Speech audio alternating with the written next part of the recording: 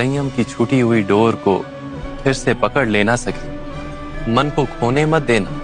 मैं तुम सबके मन में बसा यदि मन खो गया, तुम्हारा ये गोविंद, ये कृष्ण भी खो जाएगा।